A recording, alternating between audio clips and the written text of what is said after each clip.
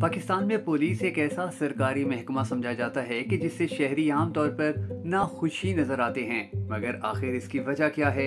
एक discipline force होने के बावजूद ना ही आज तक पुलिस की गंदी गालियाँ रुक सकी, ना छित्रोल सिस्टम ना करप्शन ना सफारिश और ना ही ना इंसाफी का अरूज पर पहुँचा हुआ लेवल आज की इस वीडियो में हम आपको बताने जा रहे हैं कि सत्तर से जायद साल गुजर जाने के बाद भी आज तक हुकूमतें इस महकमे को क्यों ठीक नहीं कर पाई? कि जिसने मुल्क के अमन को बरकरार रखने और आवाम को इंसाफ फराहम करने में मरकजी किरदार अदा करना होता है। पाकिस्तान की पुलिस में जो सबसे बड़ा फॉल्ट या खामी है वो है पुलिस अफसरान की वो ख्वाहिश के जिसके नतीजे में वो अपने मातहतों से जादुई काम लेने की कोशिश करते हैं, क्योंकि पुलिस की नफरी इतनी ज़्यादा कम है कि जो कभी भी जराइम को नहीं रोक सकती, उल्टा रोज़मर्रा बढ़ते जराइम पुलिस अफसरान के ऊपर बोझ बनते जा रहे हैं। हमारी पुलिस की हालत कितनी बुरी होगी, इसका अंदाज़ा आप सिर्फ़ इस बात से लगा लीजिए कि पंजाब की आबादी तकरीबन 11 करोड़ के करीब है और पंजाब पुलिस की तादाद एक लाख अस्सी हज़ार के करीब, यानी पंजाब के हर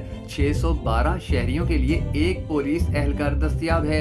सोचिए कि एक थाने में रोज़ाना अगर 10 केसेस आते हैं, हफ़्ते में 70 और महीने में 300 तो उस थाने में मौजूद 10 से 15 बंदों का अमला इन केसेस को कैसे अंजाम तक पहुंचाएगा? क्योंकि इन्हीं पुलिस वालों ने वीआईपी प्रोटोकॉल में भी जाना होता है। अवामी तकरीबात भी संभालनी होती हैं। मुलजिमान को अदालतों में भी लेकर जाना होता है और नई वारदातों के जाय बकुआ पर पहुंचकर तहकीकात भी सर अंजाम देनी होती हैं। तो भला कैसे मुमकिन है कि ये इदारा अपना काम पूरे तरीके से कर सके? आपको शायद ये सुनकर हैरत का शदीद तरीन झटका लगेगा कि तकसीम हिंद से पहले अंग्रेज़ दौरे हुकूमत में 1860 के करीब पुलिस में असलाहत की गई, जिसके तहत सूबे की पुलिस का इंतज़ाम आईजी और जिला में पुलिस डिस्ट्रिक्ट सुप्रिंटेंडेंट पुलिस के मातहत मजिस्ट्रेट के कंट्रोल में होती थी। इन असलाहत पर 1861 में अमल दरामद शुरू किया गया और उन्नीस सौ सैंतालीस में पाकिस्तान के वजूद में आने के बाद 1861 में की गई असलाहत ही लागू रही। जो आज तक लागू हैं। अब खुद सोचें कि जमाने और दुनिया आज के दौर में चाँद पर पहुँच चुके मगर हमारी पुलिस का निज़ाम 1860 वाला ही चल रहा है। हमारे थानों की हालत जार पर गौर करने के बाद कौन कह सकता है कि ये मकाम पुलिस की कारकर्दगी बेहतर करने में मुआविन साबित हो सकते हैं? इस वक्त पाकिस्तान में पुलिस थाने अकूबत खानों का मंजर पेश करते हैं, जहाँ अमन, सुकून तहफ़ के बजाय खौफ की फिजा पाई जाती है और हर शख्स इनमें दाखिल होते हुए घबराता है। इन थानों के अंदरूनी हालात इतने दगरगु हैं कि लोग अपनी शिकायत का अजाला करने के लिए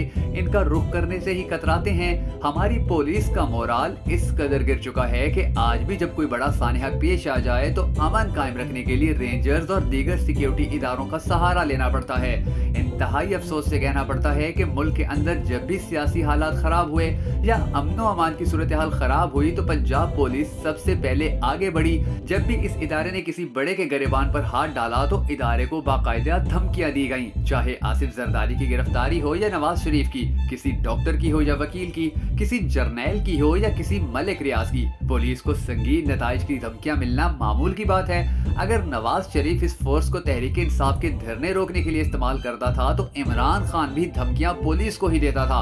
अब कुछ अर्सा पहले पीटीआई हुकूमत ने मौलाना फजलुर रहमान के धरने को रोकने के लिए पुलिस फोर्स इस्तेमाल की तो मौलाना ने भी पुलिस के खिलाफ ही वही रवैया रखा।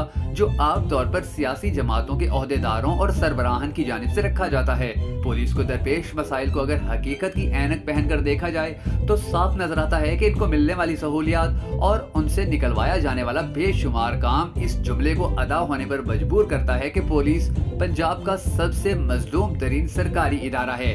जिसे जो चाहे, जैसे चाहे इस्तेमाल करता है और इनमें से कोई भी अगर ईमानदारी से काम करने की कोशिश करे तो सबसे पहली सजा ट्रांसफ़र की सूरत से दी जाती है। बिलाशुबा पुलिस के हवाले से बेशुमार मसाइल मौजूद हैं, मगर उनका हल भी किसी न किसी सूरत निकाला जा सकता है।